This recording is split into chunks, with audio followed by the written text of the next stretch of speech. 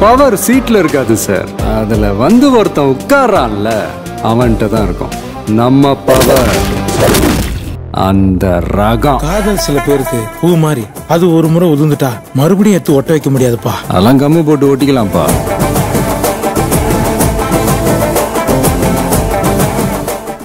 வணக்கம் வணக்கம் வணக்கம். நான் மனபாலா இன்னைக்கு நம்மளுடைய வேஸ்ட் பேப்பர் சேனலில் ரெண்டு படம் வந்ததில் வந்து வாரிசை பற்றி நம்ம சொல்லணும். வாரிசு நல்லா தான் டைட்டில் வச்சுருக்காங்க. வாரிசுங்கிறது எ- எ- கனெக்ட் பண்ணுது. அரசியல் சார்பில் கனெக்ட் பண்ணுது. எல்லாத்துலேயும் கனெக்ட் பண்ணுது. பாருங்கள் அந்த டைட்டிலே it gives meaning to so many things அப்படின்னு சொல்லிட்டு ஆரம்பிக்கலாம். இதில் வந்து இந்த கதை வந்து அப்படி கோ கோலன்னு அவ்வளோ ஆர்டிஸ்ட்டை போட்டிருக்காங்க.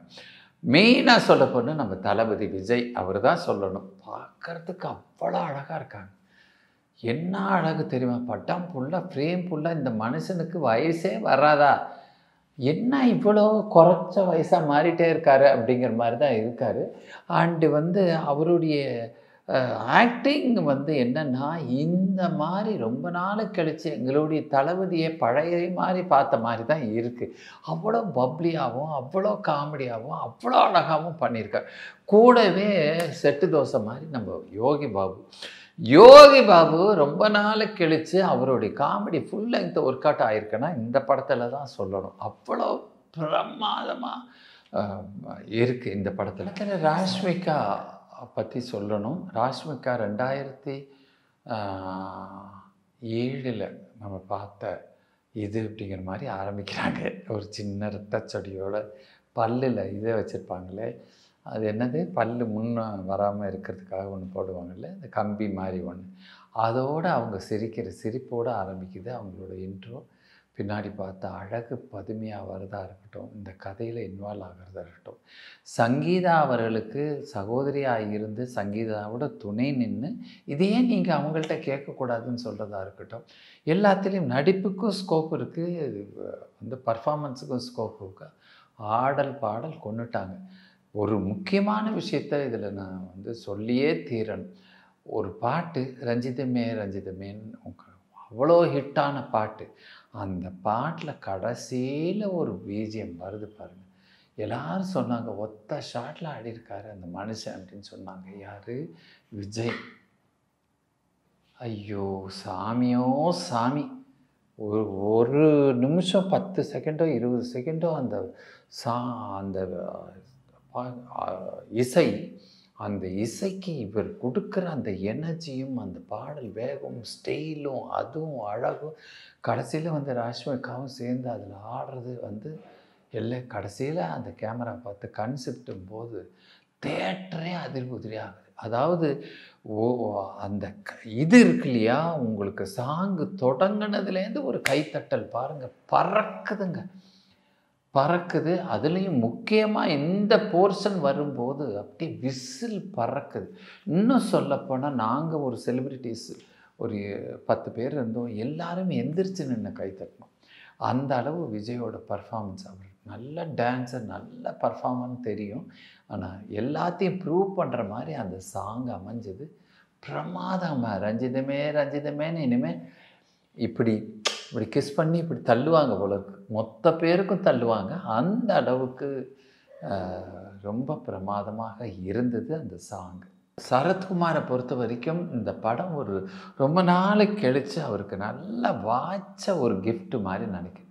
சென்டிமெண்ட்லாக இருக்கட்டும் இதுவாக இருக்கட்டும் மகன் மேலே வச்சுருக்கிற பாசமாக இருக்கட்டும் இழந்ததை மீட்க மீட்க போகிறோம் அப்படிங்கிறதெல்லாம் இருக்கட்டும் எல்லாத்துலேயும் சரத்குமார் பிரித்து மேய்ஞ்சிருக்கார். அவருடைய ஒய்ஃபாக வர ஜெயசுதாமா. ஐயோ ஜெயசுதாமாவை ஏன் தமிழ்நாடு மிஸ் பண்ணதுன்னு தெரியல. ஜெயசுதாமா மாதிரி ஒரு பர்ஃபாமன்ஸ் பண்ணுற ஆள் வந்து அவர் திருப்பி திருப்பி மணிரத்னம் கூட்டி வந்து இங்கே விடுறாரு திருப்பி அந்த அம்மா போயிடுறாங்க தெலுங்கு ஆனால் வந்து இந்த படத்தில் வம்சினால் டைரக்டர் வம்சினால் மீண்டும் தமிழுக்கு வந்திருக்காரு. அருமையான அழகான பர்ஃபாமன்ஸோடு கூடிய ஒரு ரோல் என்னன்னா மூணு பசங்க ரொம்ப சிம்பிளுங்க ஒரு குடும்பம். மூணு பசங்க அவ்வளோதான் மூத்தவனுக்கு கல்யாணம் ஆயிடுச்சு அவனுக்கு ரெண்டு குழந்தை இருக்குது இளையவனுக்கு கல்யாணம் ஆகுது. அவங்கெல்லாம் தப்பு தப்பான வாழ்க்கையில் ஈடுபட்டிருக்காங்க. இளையவன் வீட்டை விட்டு வெளியே போயிடுறான். வெளியே போயிடுறான். வெளியே போனவன் திரும்பி வரணும் அப்படிங்கிறதுக்காக ஏதோ ஒரு காரணம் சொல்லி வர வைக்கிறது தான் இந்த கதையோட நோக்கம். வந்தவன் இருந்தானா போனானா என்ன பண்ணான்? எப்படி லாக் ஆனான் அப்படிங்கிறதுல இந்த கதையோட மெயின் ஐட்டம் இருக்குது எப்படி எப்படியெல்லாம் லாக் பண்ணுறாங்கங்கிறது ரொம்ப தெளிவாகவும் அழகாகவும் சொல்லியிருக்காங்க.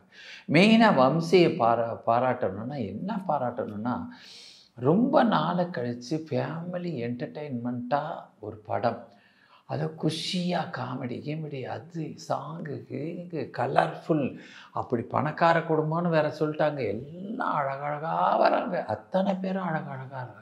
இந்த பக்கம் சங்கீதா இந்த பக்கம் இவங்க அவங்க ஷாமு இந்த பக்கம் இரு அத்தனை பேரும் வந்து வராரு. பிரகாஷ் ராஜ் வில்லனாக வில்லனா வராரு. மெயினாக வில்லனா அவருக்கெல்லாம் இது லட்டு மாதிரி. இன்னும் சொல்லப்போனால் இது ரிப்பிட்டேஷன் தான். அது வந்து அவருக்கு வந்து இது மாதிரி நிறைய ரோல் நடித்து முடித்து ஓஞ்சி எடுத்துட்டார்.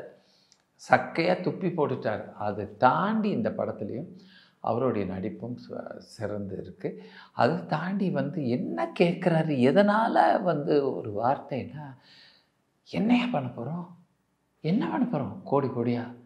இவ்வளோ பணத்தை சம்பாதிச்சு என்ன பெறும் வாழணும்யா வாழணும். அப்படிங்கிற ஒரு விஷயம் இருக்குது பாருங்க. அது விஜய் வாயில் வரும்போது கண்ணை அப்படி கலங்குது நம்மளுக்கு. வாழத்தான பிறந்திருக்கோம். ஏன் வெறுக்கணும்? ஏன் ஒருத்தர் ஒருத்தர் வெறுக்கணும்? ஏன் தள்ளி வைக்கணும்?